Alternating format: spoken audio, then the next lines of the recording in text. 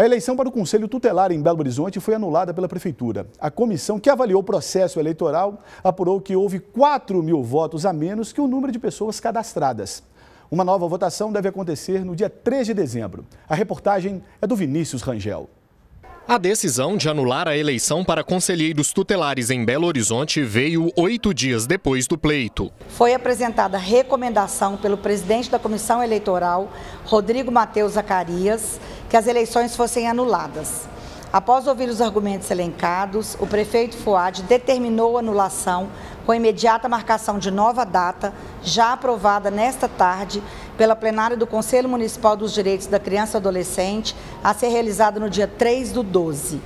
Além disso, a Prefeitura encaminha amanhã à Câmara Municipal projeto de lei que modifica a atual legislação tornando as regras das eleições aderentes à metodologia das eleições realizadas pelo Tribunal Regional Eleitoral. Segundo a Prefeitura, foram contabilizados cerca de 4 mil votos a menos do que os cadastrados.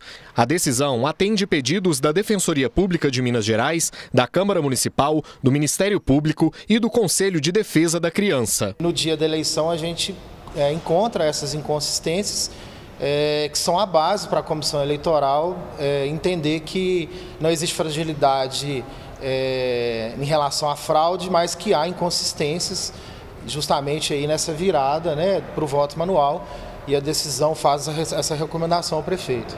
O processo para a escolha dos conselheiros tutelares aconteceu em todo o país no dia 1 de outubro.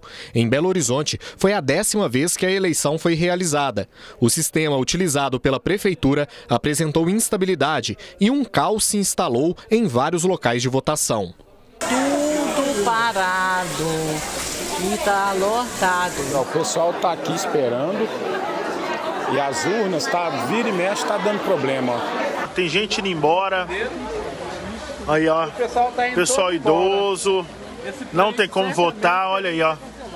Tem que ser cancelado isso daqui, ó. Desde 9 horas da manhã que o pessoal tá na fila podendo esperar para votar. E olha aí, as urnas tudo travada. Em alguns locais, a votação com cédulas de papel não acabou com as reclamações. Amanhã, aí já estava garrado já. E voltei hoje, agora mais tarde, né?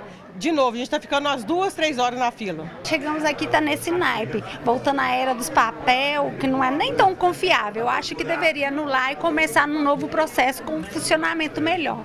Tá decepcionante. Esta mulher contou que não conseguiu votar porque outra pessoa teria votado no lugar dela. Eu fui na escola Hilda Rabelo votar, chegando lá, meu CPF já estava cadastrado, estava mostrando que eu estava com voto que já tinham votado, sendo que eu nem cheguei a sentar na cadeira. Aí a moça foi, a mesária, me deu o CPF dela para votar. Eu questionei ela por que, que eu estaria votando o CPF dela. Ela falou assim que não, que iria para o meu nome. Na hora que eu sentei na cadeira para votar, o número 6 não pegava de jeito nenhum. Aí foi, sumiu a tela e mostrou lá que já estava votado de novo. Nesta segunda-feira, o presidente da Prodabel, empresa de informática e tecnologia da capital, que desenvolveu o sistema de votação, reconheceu que houve erro no processo.